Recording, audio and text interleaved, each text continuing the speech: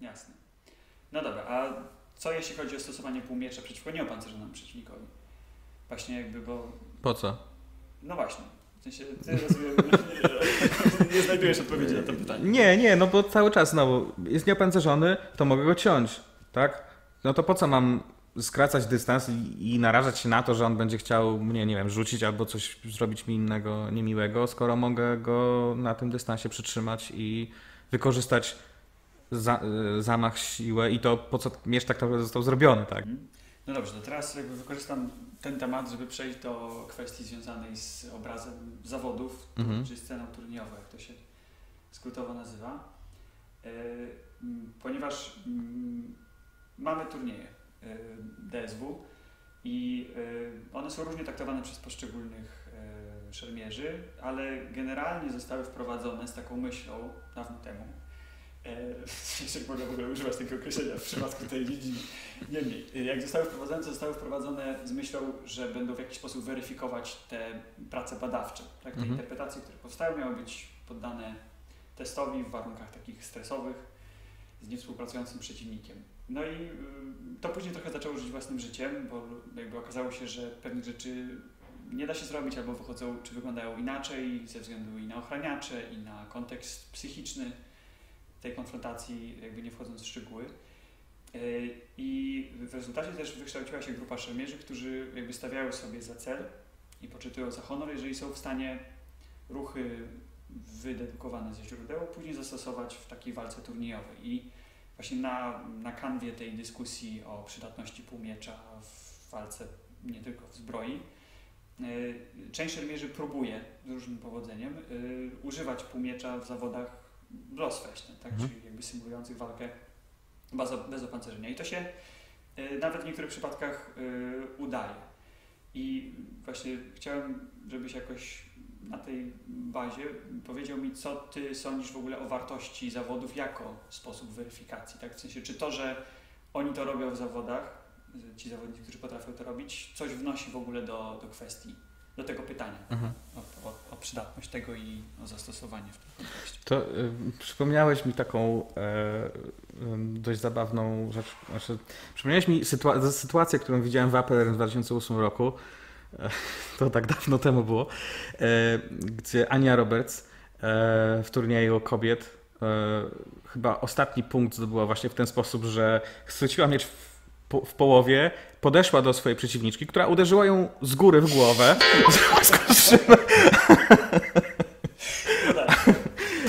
Ona się obroniła i tam już nie pamiętam jak sam ten punkt zdobyła, ale to zdobyło, to oczywiście zdobyło e, e, to, to, to było dla nas takie wow. Bo było to całkowitym zaskoczeniem. Em, e, No, więc e, jak mówisz o tym, że jest skuteczność, to mm, zdarza się, tak? Jakby jak widać jest to na, niektóre rzeczy mogą być na tyle zaskakujące, że po prostu mogą zadziałać. To też jest część y, walki, tak. Mhm. Co do pytania o użyteczność zawodów, y, jeśli chodzi o weryfikację. Jest, no moje poglądy oczywiście zmieniały się w czasie, bo jak zaczęły się zawody, to uważałem, że w ogóle Bez kija nie podchodzi. Tak. Tak, tak, sobie wymyśliliście, chcecie sobie powalczyć, żeby coś tam sobie udowodnić, to, to sobie walczcie. Mm, I tak na początku właśnie byłem bardzo przeciwko, bo uważałem, że to jednak jest takie usportowienie e, całej tej zabawy. No wiadomo, jak jest jakaś, jakaś, jakaś gra, bo zawody to jest, to jest jakaś gra, em, są jakieś zasady, no to te zasady to jeżeli się gra, to się gra po to, żeby wygrać. Zgodnie z zasadami, ale też te zasady stara się, jakby każdy stara się znaleźć w tych zasadach. Nie, może nie każdy, może to tylko ja. ale wydaje mi się, że każdy zawodnik e, gra też zasadami. E, czyli, czyli jakby zawody to nie jest tylko zmaganie z przeciwnikiem, owszem, ale to też jest, jest zastanowienie się dobrze, to co promują mi te zasady, jakie rzeczy ja mogę wykonać tak żeby wygrać tą walkę, a jednocześnie pozostać zgodnie, w zgodzie z tymi zasadami. Jeżeli ktoś sobie narzuca, że jeszcze chce, do, dodatkowo do tego, że jeszcze chce wykonywać akcje traktatowe, no to chwała mu, tak? E, ale są tacy, którzy w ogóle nie wchodzą w to i tylko, i jakby ich celem jest wygrać. I, może, i jakby, I to rodzi pewne jakieś tam ograniczenia. Ale z drugiej strony w, XVI wieku mamy w XVII wieku mamy y, dużo y, przekazów na temat tego, w jaki sposób oni też sami ze sobą współzawodniczyli, tak? I, i niektóre z tych zasad jakby tych współzawodnictw, tego współzawodnictwa są zupełnie od czapy w stosunku do tego, co jest jakby pokazane w traktatach, gdzie były turnieje, w których liczyło się to, żeby E, każdy kolejny cios był zadany coraz wyżej, każde kolejne trafienie było coraz wyżej, mhm. tak? Albo mm, gdzie, uderz, gdzie, było, gdzie uderzali się płazem, tak? Więc e, też oni też próbowali. Widać było, że próbowali. I pewnie jakby mieli maski szermiercze e, i, i, i, mogli się tak ochronić jak my, to też mieliby dużo frajdy właśnie z czegoś takiego, tak? Z, z, z takich zawodów. Mm, więc to nie jest aż. Nie, nie, już nie mam aż takiego stosunku negatywnego, jak, jak miałem. Czy ta konwencja. Yy, inaczej. Yy, Dużo jest eksperymentów z różnymi konwencjami turniejów, różne zasady. Ogólnie gdzieś tam można się dopatrzeć jakichś takich wspólnych, e, e, wspólnego jakby takiego rdzenia, ale często to też jednak eksperymentujemy z zasadami, że są punktowane strefy trafienia, że pewne ciosy są dozwolone albo niedozwolone. I to jest interesujące. Tak jak teraz w Dijon na przykład była taka formuła, że pierwsze pięć wymian jest takie trochę może bardziej na luzie. Szósta jest decydująca, ale jak szósta będzie remisem, to wtedy decyduje te pierwsze pięć, więc, y, i, więc, więc warto się y, jednak przyłożyć do tych pierwszych. Y, I to też było ciekawe. No właśnie, bo od czasu jak zacząłem jakoś tak bardziej aktywnie walczyć, to stwierdziłem, no dobrze, może te turnieje nie są aż takie złe. Ale też zauważyłem, jak bardzo mm, jest inna percepcja zawodnika ze środka i potem ogląda się na, na, nagranie jakiejś walki i aha, to tak to wygląda z zewnątrz. Takie moje jakieś takie subiektywne odczucie. Idę iść y, i tak sobie myślę, dobrze, co ja teraz chcę zrobić? Co zrobić? Aha, no dobrze, to chcę zrobić. Y, no dobrze, to wymyśliłem już i robię i wykonuję akcję i, i coś tam się zadziewa. Już jak, jaki tam jest wynik, to, to jest nieważne. Potem oglądam to na, na filmie i widzę, idę, idę, idę, wykonuję akcję cały ten czas rozciągnięty mojego myślenia, gdzie ja się zastanawiałem w ogóle, yy, kombinowałem, coś tam zniknął na tym. No tak. To, yy, no dobrze, ale wracając do tematu yy, przydatności. Sądząc po tym, że coraz więcej zawodników jednak y, na zachodzie przynajmniej, bo u nas to tak jest różnie, wykonuje sporo akcji traktatowych. Może bardziej bym powiedział, że przypomina to te XVI-wieczne to ten długi miecz XVI-wieczny, gdzie tam jest więcej właśnie e, uderzeń, kombinacji e, uderzeń, e, próby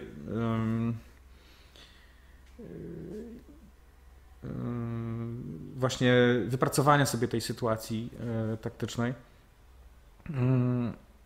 Przez właśnie dość takie intensywne nacieranie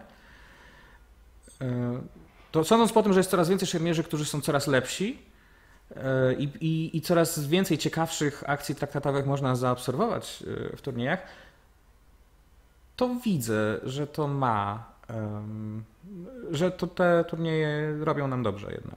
Mhm. Aczkolwiek zawsze jest to te, takie zagrożenie, że ludzie zaczną ćwiczyć pod to, żeby wygrywać. To jakby to, co na początku mi się wydawało wielkim, gigantycznym problemem, jest mniejszym problemem, ale on cały czas jest. Że są ludzie, którzy po prostu chcą wygrywać. I oni będą się uczyć kilku technik, które działają na większość przeciwników. E, I to, czy te techniki mają związek z historycznością, czy nie, ma dla nich jakby całkowicie drugorzędne Mhm. znaczenie. Tak, ale I- myślisz, że to przeszkadza tym, którzy są zmotywowani czym innym niż tylko wygrywaniem? W sensie, Tak. że to przeszkadza? E, Myślę, że. Znaczy. Wydaje mi się. Mhm. e, Przy czym, tak jak mówię, to już nie jest takie, wydaje mi się, tylko to jest takie, wydaje mi się. Zresztą obserwując niektórych zawodników na naszej polskiej scenie, gdzie my jednak mamy bardzo silny taki e, ten element osób, które gdzieś tam wyszły z tego sportowego środowiska albo, albo ćwiczą jakąś tam szermierkę klasyczną, czy jakkolwiek by się tam inaczej nie nazywało e, i, w, i wchodzą, i, interesuje ich bardziej właśnie temat współzawodnictwa i wygrywania tego współzawodnictwa. Tak. I, I mamy dobrych zawodników, którzy wygrywają zawody u nas, Mhm. którzy tak naprawdę nie są jakoś specjalnie. y, Nawet te walki nie są interesujące. W- Dobra, to do tego jeszcze wrócimy, do polskiej sceny, dobra? No dobra. E, Jakby, czyli, czy rozumiem, że w zasadzie już powiedziałeś wszystko na temat przydatności turniejów, to... No, no jeszcze chciałem to jakby podkreślić, że jest zawsze ryzyko, że, że formuła zostanie wynaturzona przez to, że zapomnimy o tym, co nas do tego sprowadziło. Na szczęście jest tak, że e, cały czas ten ruch e, chcemy, interesują nas traktaty i źródła i szermierka średniowieczna dawna, no, Mhm. niekoniecznie średniowieczna, ale szermierka dawna i odtwarzanie tego, co było e, dawniej, jest cały czas silniejszy i, i porywa więcej osób niż sam ten nurt wygrywania zawodów. No a y, czy sądzisz, że właśnie ten nurt taki, czy te takie żywotne soki, tak, które napędzają to wszystko, y, jakby są nadal, nadal silne y, dzięki temu, że to pozostaje sportem amatorskim w zasadzie? Sądzę, że sądzę, że w momencie, w którym to stanie się sportem profesjonalnym, to to zagrożenie będzie wygrywa, wygrywania będzie znacznie większe. Mhm. Bo to się e, to można też zaobserwować nie tylko, że w, w sztukach walki e, e, niezwiązanych z, naszą dziedziną też można to zaobserwować. Pamiętam mm, bardzo dobry zawodnik wygrywający zawody w e, kung fu w Polsce e, generalnie uczył się form tylko po to, żeby móc wystartować w zawodach formy ale był zupełnie niezainteresowany jakby całą tą otoczką, tak? Interesowało go tylko i wyłącznie wygrywanie tych zawodów. I to no jak widać, znaczy to, to jest tacy ludzie będą E, i w momencie, w którym to się stanie profesjonalne, no to musimy się zastanowić nad tym, jak chcemy, jaką formułę chcemy przyjąć, żeby mm, żeby jak najmniej zgubić. Mhm. Okej.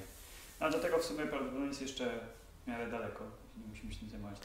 PWR jest, e, jest profesjonalny. E, No tak, no ale to była Więc, nie rości sobie w gruncie mm. rzeczy tak bardzo pretensji do historyczności. W sensie jest tak odbierany powszechnie w społeczeństwie, ale jakby nie, nie reklamuje się w ten sposób. No tak, tak, oczywiście. Jakby to był nowoczesny sport Mm, walki pełnokontaktowej w historycznej No tak, tak, tak, tak. A- Ale chodzi mi o to, że y, PWR powstał później Mhm. niż No tak. DSW. Tak? To była formuła, która błyskawicznie e, się z- jakby została przyjęta i, i już jest profesjonalna, więc to jak mówisz, że to jeszcze trochę czasu do tego zacznie się profesjonalne, być może, być może, ale to się może stać dokładnie. jak jakaś masa krytyczna się Tak. gdzieś zbierze. Tak, tak, tak. Zresztą, wiesz, jest trochę tak, że te federacje to taki, wiesz, tak, tak może traktujemy różnej maści federacje tak na zasadzie, a są sobie coś tam i coś tam może organizują i coś tam. Mm, Nie lekceważyłbym tego, bo na szczęście ludzie, którzy tymi federacjami za, zarządzają w różnych krajach, e, to są ludzie, którzy cały czas są nasi, to znaczy cały czas ich interesuje szermierka dawna mm, i niech tak zostanie, e, ale sądzę, że może się nagle okazać, że na ten profesjonalny poziom możemy wskoczyć, niespodziewanie wskoczyć dość szybko. Mhm. No dobra, to a propos tego jeszcze kończąc ten wątek, chciałem spytać, ponieważ masz dużo lepszy niż y, ja i w zasadzie chyba niż ktokolwiek y, z Polski przegląd tego, co się dzieje ogólnie w, y, w światowym DSW. Y, A w Polsce to jest jakby, no, jest federacja, która jakoś tam działa, ale ona no, jest bardzo amatorska i jakby jeszcze nigdzie na horyzoncie nie widać specjalnie jakichś y, świtu nawet y, No, profesjonalizacji. no dobra.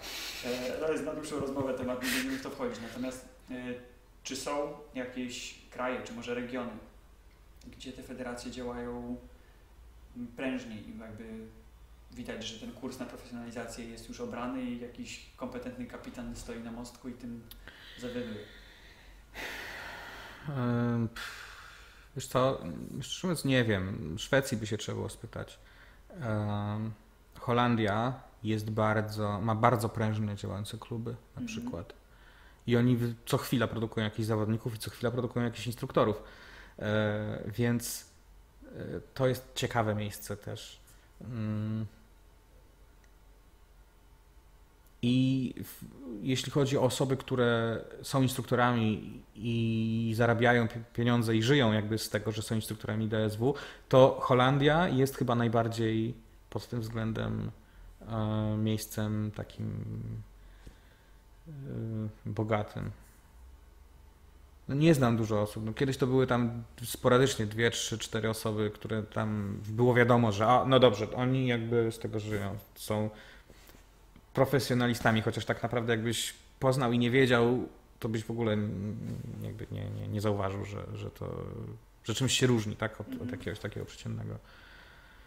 Przeciętnego. Teraz, teraz to się zmieniło? W sensie, No ja wiem. No jest, wiesz co, są, są ludzie, którzy mają własne szkoły i Mhm. te szkoły działają, funkcjonują i, i to już i są stabilne. To znaczy to nie jest tak, że y, dwa lata, trzy lata i, i, i nagle to wszystko pada, tylko są ludzie, nie wiem, Devon Bur Burman w Kanadzie, y, Dave Rawlings, y, Guy Windsor, tak? Matt i nie wiem, szczerze mówiąc, jak możliwe, ale nie wiem. Wiem, że Dave Rawlings jest osobą, która ma własną szkołę, prowadzi tą szkołę i z tej szkoły żyje. Jest tych osób, które już są na takim profesjon... jakby są profesjonalnymi instruktorami jest dużo. Teraz pytanie, kiedy pojawią się zawody, których jest coraz więcej. Zawodów jest coraz więcej i coraz najróżniejsze, już nie, już nie ogarniesz w tej chwili. Gdzie, kiedy, jakie, ile i tak dalej. Kiedy pojawią się za- zawody, na które y, ludzie zaczną chcieć jeździć, dlatego że są zawody albo że jest coś do wygrania. Niekoniecznie dlatego, że są zainteresowani szermierką, tak.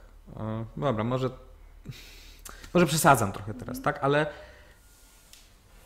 mm, nie wiem w sumie, co chciałem powiedzieć teraz. No dobra, przerwy. sprawdźmy.